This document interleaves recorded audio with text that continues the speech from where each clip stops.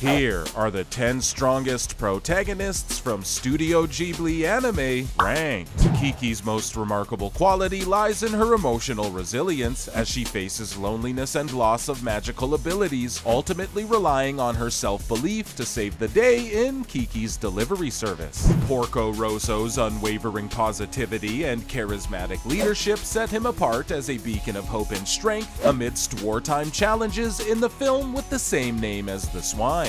Ashitaka nobly assumes the role of prince and protector, wielding his enhanced abilities to broker peace and defend both his people and nature in the anime Princess Mononoke. Mahito Maki from The Boy and the Heron defies human tragedy through his journey of self-discovery, emotional growth, and acceptance of his role in a conflict of cosmic proportions. Sheeta, the protagonist in Studio Ghibli's debut film Castle in the Sky, establishes the archetype of the magical leading lady with her courage and eventual mastery of powerful magic. Howl Jenkins' Pendragon's sacrifice of his magical powers, symbolized by trading his heart, ultimately leads to his redemption and a life filled with love in the series Howl's Moving Castle. San, the fierce stepdaughter of a forest deity in Princess Mononoke, possesses otherworldly abilities and a bloodthirsty loyalty to protect nature, making her an iconic Ghibli protagonist. Haku, the dragon god of the Kohaku River in Spirited Away, showcases unparalleled power alongside a profound sense of mercy and morality, distinguishing him as a god-tier protagonist. Princess Kaguya from the tale of the Princess Kaguya undergoes a journey of self-discovery, navigating her superpowers and defying her godly origins to forge her own path.